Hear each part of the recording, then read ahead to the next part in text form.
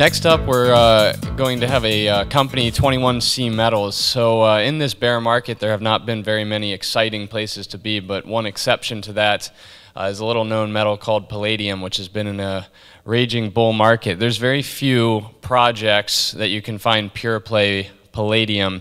And uh, Wayne Tisdale, who is a uh, very successful entrepreneur in the mining space, is behind this company. He just raised a significant amount of capital, and uh, it's just getting going. So Wayne's going to tell us all about 21C Metals. Welcome, Wayne.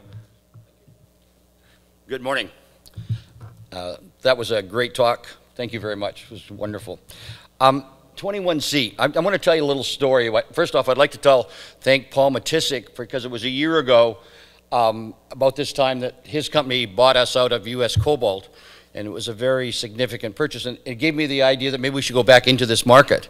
I didn't realize how dramatic it would uh, change over the one year, how far cobalt would go down on the uh, pricing scale.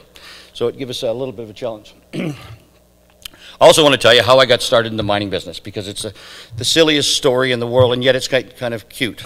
I was, a, I was a Saskatchewan farm boy, and what you did when you were in Saskatchewan in the wintertime, you became a diamond driller. So you go up north and you drill, and I thought that was a little cold and a little hard. And fortunately, somebody dropped a barrel of Mulsicut oil off on my leg and broke it. So there I was sitting in, on the farm, and I decided to take my old truck and drive out to Ashcroft, BC, where the Highland Valley was exploding. And I went there and I started working for a company called McElhanney on the survey crew and, and uh, some guy that I played hockey, it was a goaltender, uh, quite popular in those days.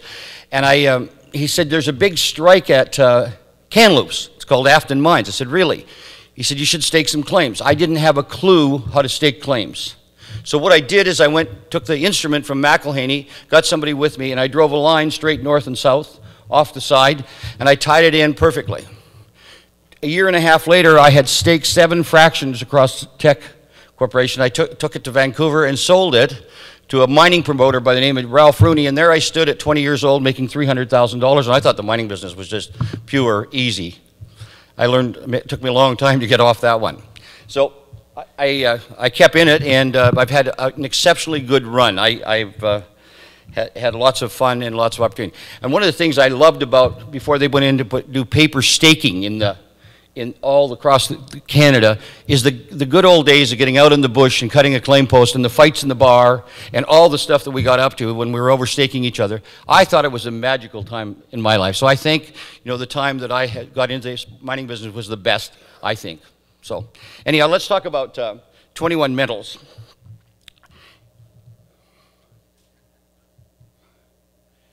We, uh, we got a combination of co cobalt and um, palladium. It was my good friend Michelle that put the na name together, uh, metals for today and tomorrow. And uh, I'll just clip through there. Everybody here, I'm sure, is totally aware of the, of the uh, evolution of the electrified vehicle, what's going on, it, and how fast it's moving. Um, as we know, cobalt is going to have a deficit by the 2000, and palladium will remain as a supply de deficit for the next um, seven years. One of the key, key factors in that is they've, in Europe especially, they're putting a lot more hybrids in than they had expected. They thought they would have the infrastructure, and it's not there. So um, it's, it's causing a little bit of shortage. And as you know, palladium has done very well. Um, it, it's one of the seventh rarest metals in the world, and it's quite, it's quite interesting. And um, as you can see, there's a, there's a, um,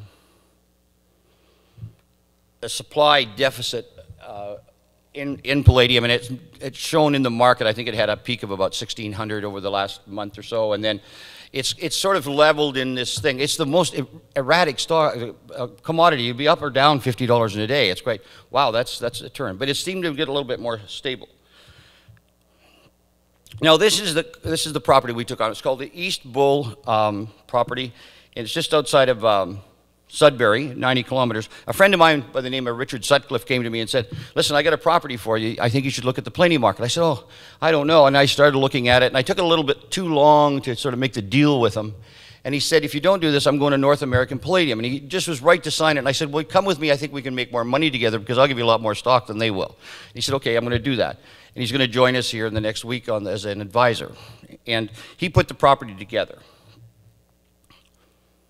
it's a, uh, you know, it's got a, it's, it's, it's, a road there. It's, it's quite good. It's got everything in it. It's got, uh, you know, got power lines and you got rail lines and you got uh, roads accessible out of Sudbury. We got all the uh, infrastructure there that we need. So now we have a uh, we have a uh, 43101 that gives us 523,000 ounces and um, it's got a grade of 1.46, which is a pretty good grade. We um, are going to um, go ahead and uh, drill this, uh, this structure.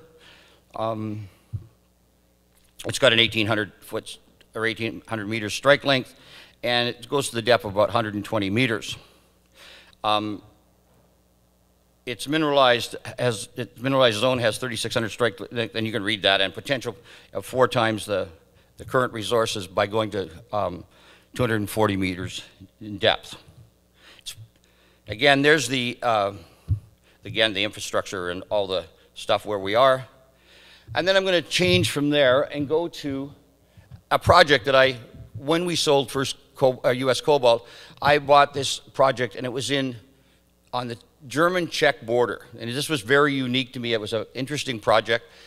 And it had never been, it had been mined in the about 1300s and then it carried on until they put a head frame on it in, in um, 1898. And just after that, they had the Austrian uh, Hungarian Empire with that war, and that got taken down. And it got lost in the First World War.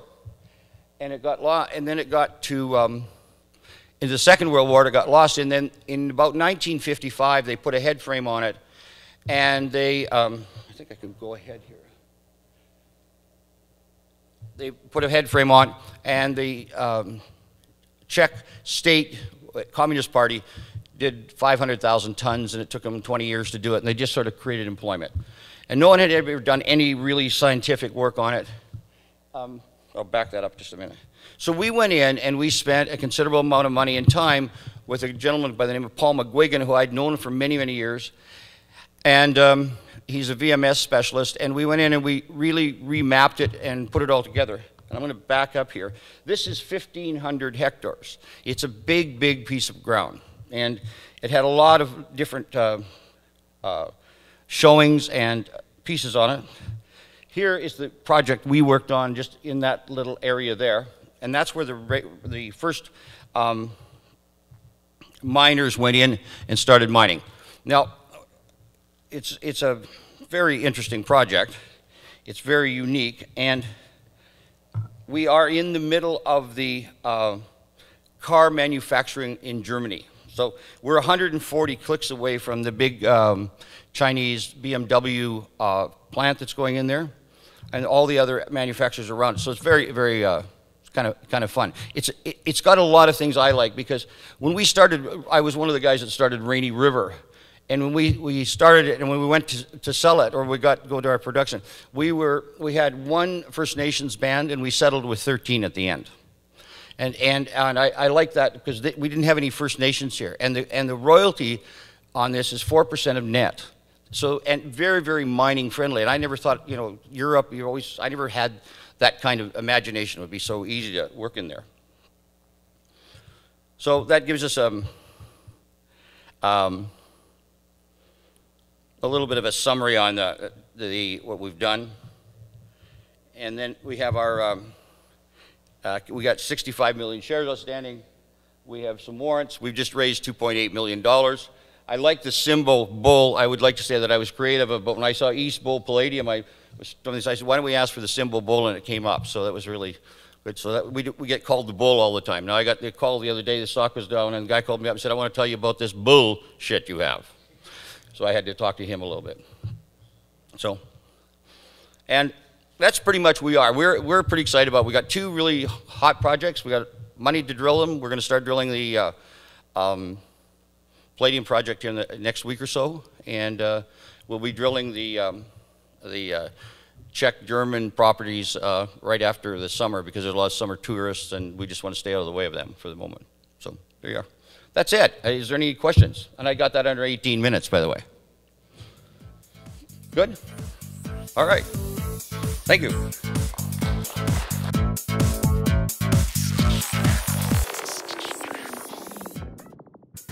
Think you understand the junior mining sector and you think that the participants in the mining sector, junior mining sector, are good people and kind people, hit the bid.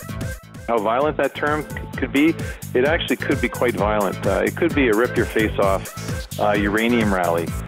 And the world is always going to need raw materials. It's going to need copper and gold and nickel and so forth. Totally destabilized. Hey, hey, Troll, did you hear what's going on in Yemen?